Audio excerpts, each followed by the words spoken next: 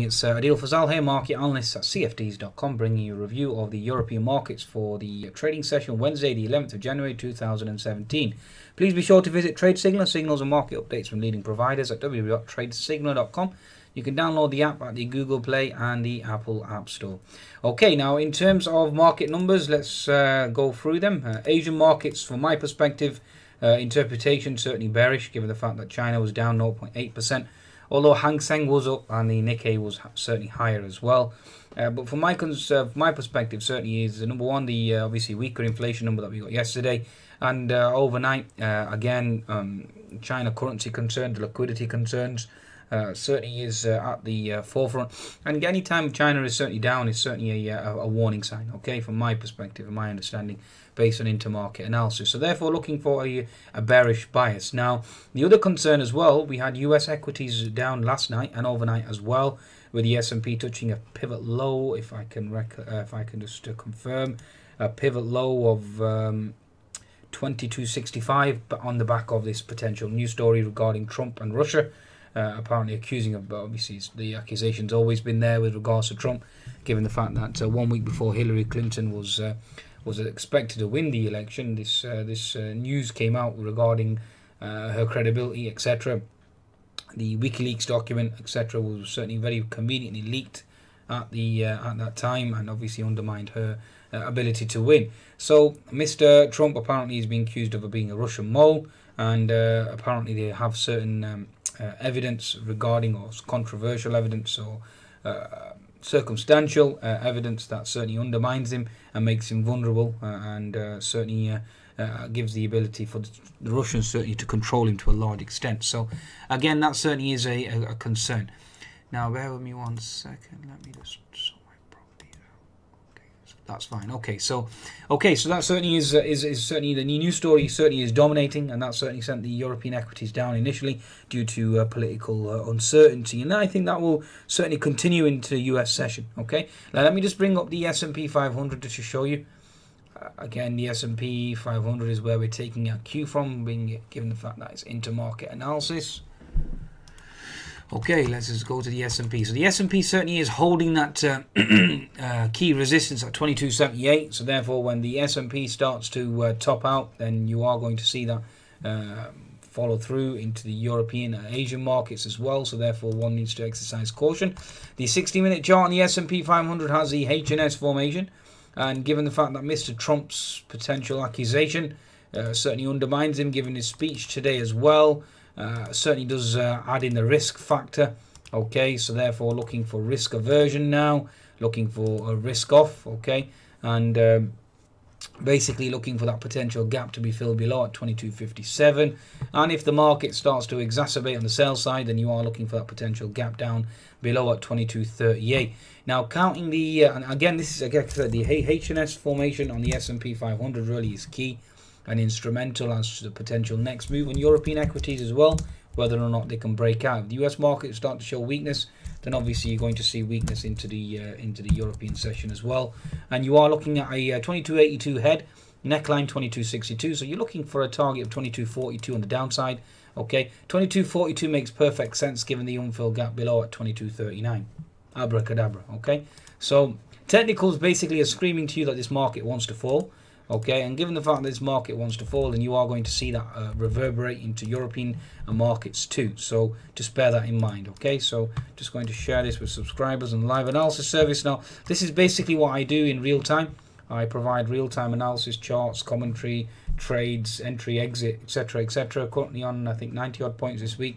So uh, and still trading. So a decent week this week. Last two weeks have been certainly circumspect okay, or last two months, or should I say, I've been circumspect. So, uh, again, last uh, Jan, November, December, negative one months for me. Okay, uh, very hard for me to understand and interpret post Donald Trump. Okay, uh, especially given the fact that FTSE and Nasdaq making new highs. Again, absolutely baffled. Okay, as to um, how that's occurring, but that's the market for you. You have to adjust, and uh, you must you must adjust, otherwise uh, the market will adjust your P&L.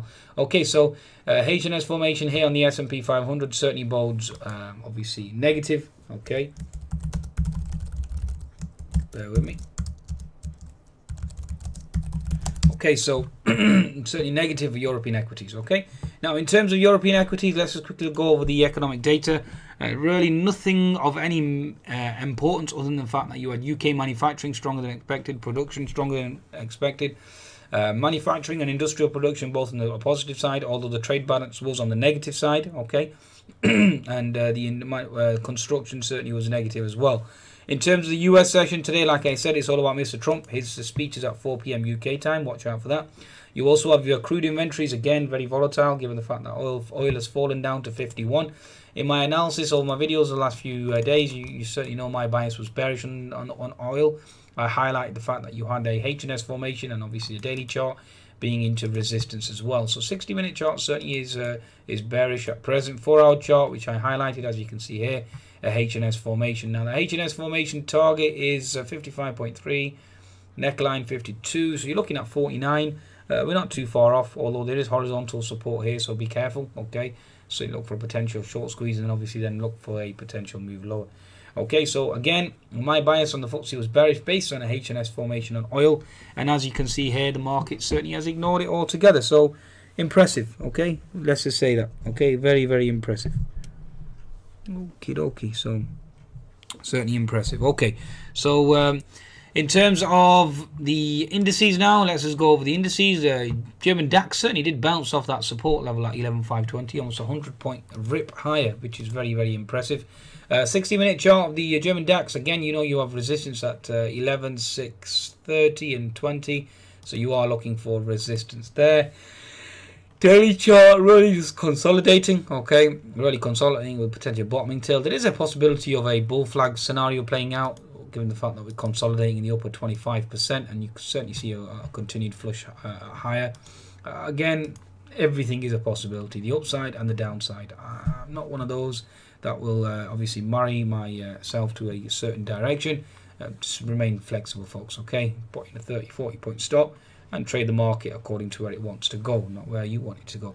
Okay, now uh, German DAX again, weekly chart. If we do continue to push higher, then you have resistance levels above 11670, 11800, uh, and then obviously 11930. So all those are possibilities. I mean, every single one of those is a possibility. So, especially given the fact that you are looking at a retracement on the euro at the moment. So again, everything is a possibility. I mean, look at this rip higher today. I was expecting consolidation here, looking for a lower high, then obviously look for a lower low down to 11480. And what happened? We we actually reversed in the in the exactly opposite direction. So market always does what you uh, least expect it to do. Okay.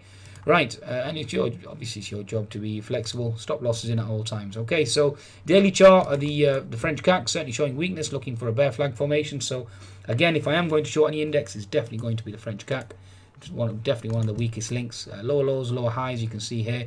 It did actually test that uh, key resistance or key support around the uh, 4850 zone, which was very impressive. But then it ripped higher, okay? So it ripped almost 50 points higher. Very impressive thrust. 10 minute chart, Euros uh, CAC at the moment certainly is lagging now. Uh, looking for weakness, looking for a retracement low from my perspective. Okay, FTSE 100. Okay, now this uh, index that never stops going higher. Okay, uh, this is uh, certainly uh, pushing higher into that 7300 zone. We'll see whether or not it can attack that. Now, my concern for the FTSE 100 really is FTSE 250 weekly chart is into resistance, and therefore you are looking for a reversal on the FTSE 100. Again, I know FTSE itself is uh, is certainly married uh, exclusively to the uh, GBP USD chart. Now, GBP USD it certainly is certainly trading absolutely inverse ever since we've had a fall in the Value of sterling FTSE certainly has been pushing higher, regardless of oil prices moving lower. It certainly has become immune to a, a fall in the price of oil as well. It certainly is exclusively attached to the price of sterling, given the Brexit scenario. Okay, so again, investors sensing that as some sort of opportunity to front run the uh, sterling crash trade by buying the actual um, UK stocks, given the fact that uh, foreign earnings come back and obviously more profits. So again, FTSE 100 60 minute chart, you had the rising contracting wedge pattern, which really is a bearish pattern. Always remember that. Okay, rising contracting wedge is bearish, and therefore looking for a retracement, given the fact that FTSE 250. Is into resistance okay so again um, from my perspective certainly looking for 7260 and potentially lower 7260 7250 even 7240 given the Trump concerns. So again, let's see how the Trump concerns permeate the market. Okay, on that note, please be sure to visit cfds.com for your trading needs. and certainly take advantage of the bonus and be sure to visit TradeSignal and download the latest app. Goodbye now.